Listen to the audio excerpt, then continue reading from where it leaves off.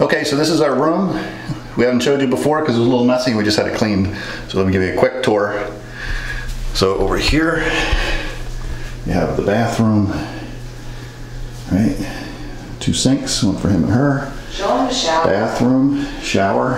How shower. has a- Shower's like a half shower. This doesn't come closed, but it's like, it's, it works, right? Comes with shampoo. Comes with, yeah, it comes with like shower gel, shampoo, conditioner built into the wall, so that's already here for you.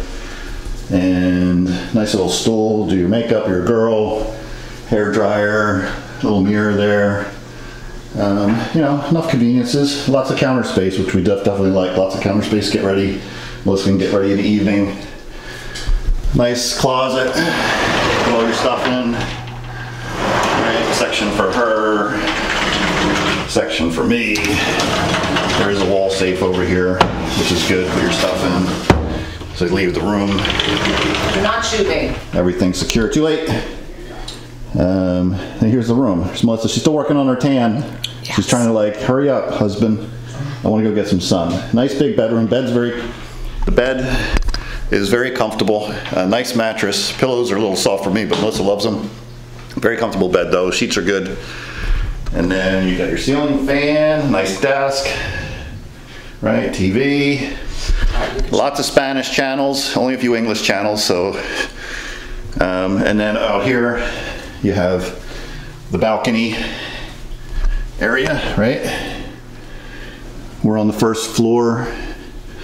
Let's see. But as you can see, all the rooms, all the rooms are like um, bung, like a bungalow kind of, bungalow kind of thing. Speaker on. And it's very humid out there, so you can see as soon as I step outside,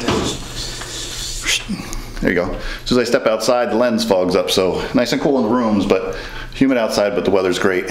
And then the bar, it's fully stocked.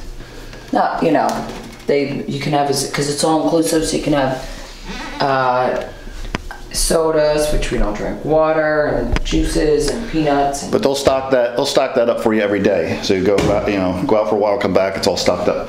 So that's the room, right? it's nice and big.